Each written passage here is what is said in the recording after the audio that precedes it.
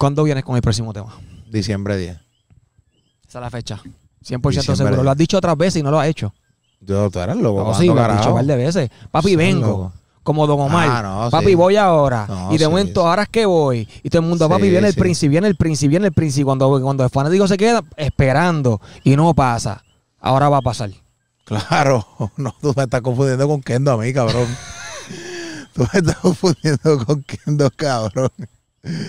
Yo nunca digo que vengo, que vengo. Yo un carajo, cabrón. Este cabrón está confundiendo con el Kendo. He dicho que con toda esa vuelta. Hablando de Que que que no le importa que tú dices, No, porque dice, papi, eh, este, lo que vengo, salimos ahora, lo que falta son las canciones, escribirlas y las pistas. Y yo digo, "Ay, digo, cabrón. y lo dice en vivo el, el nombre del álbum. Sí, cabrón.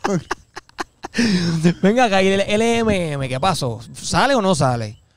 Bueno, te- no tenemos par entrevista en. Miami, que estaba con, con Angelique La Bulbul, nos dijo que, que, tú sabes, que, que estaba hecho, que estaba terminado, pero Había, lo que pasa es que hay, hay revoluces tras cámara, ¿entiendes? Con- ¿qué tipo de revoluciones? Nada, no son revoluciones muy de eso, son en verdad, hay contratos, que no tiene contrato, este, hay que llegar a un acuerdo, hay que, muchas cosas, pero es como yo le digo a Kendo, cabrón, es darle y después que esté hecho, pero las veces que nos hemos juntado siempre hemos montado y todo lo que hemos montado te de puta, todo, todo, todo. Él, eh, si sale ese álbum, eh, ¿qué estilo va a ser? ¿Qué, ¿Por qué Adelante. vueltas se fueron? por la vuelta que yo le digo a él, pero es lo que yo le digo a él siempre lo mismo, nosotros somos chanteadores.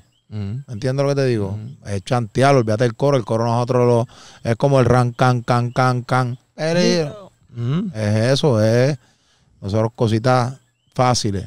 Pero olvídate de que ando, cabrón, que yo- vamos a seguir el- estabas llamando en medio de la entrevista y él dijo, este cabrón, mira, eh, Sí, hasta, sí, hasta sí. interrumpiendo la entrevista, Sí, sí, sí. puedo hacerte cualquier pregunta, Lo que José. tú quieras. Con lo que sea, Lo que sea. lo que me dé la gana. Bueno, dale, zumba, zumba, zumba. Déjame Ok. ver con qué viene. Y hace poco le hice una entrevista a Ñengo.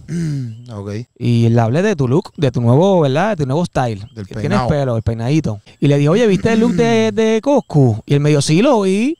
No lo vi como que ahí sumeado y como que no, no lo analicé. Pero vi que tenía pelo. Pero gordo y dijo, no te peines el pelo para atrás que te parece a Santini. Qué clase, cabrón. Ese, ese es el flow. Hacho las ganas mías de tener el de Santini, cabrón.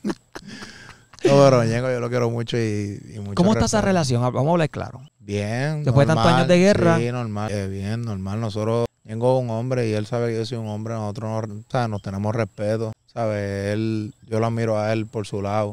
¿Sabes? Uno, uno no puede ser, la- cabrón, cuando uno entierra un problema o una miel, ¿sabes? Uno tiene que saber enterrarlo.